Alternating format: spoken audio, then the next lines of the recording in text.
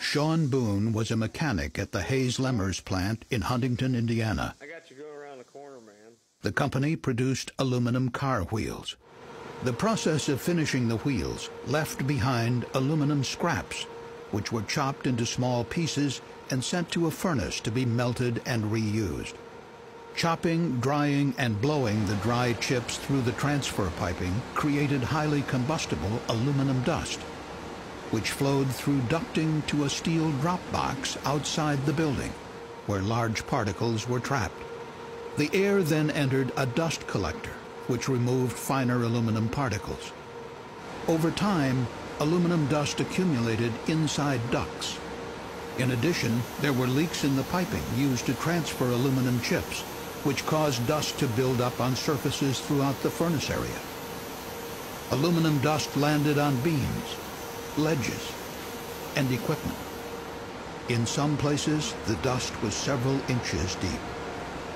On the night of October 29th, about 10 minutes after workers started the aluminum chip melting process, aluminum dust inside the dust collector was suddenly ignited, perhaps by a metal ember or impact spark, resulting in a large explosion.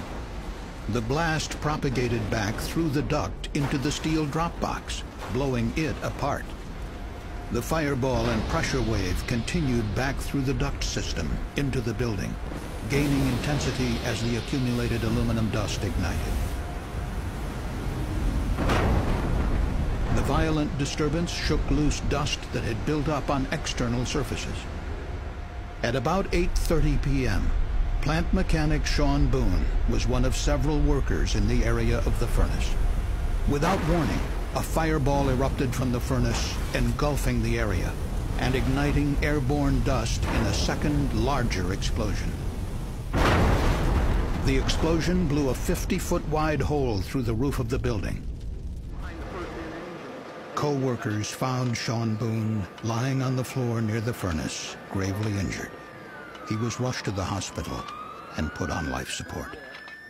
And they told us that um, his internal org organs were burnt, and they could take his arms, and they could take his legs, but he probably wouldn't make it, and it would just prolong it. So we went ahead and took him off. Sean Boone was one of 14 dust explosion fatalities in 2003 alone.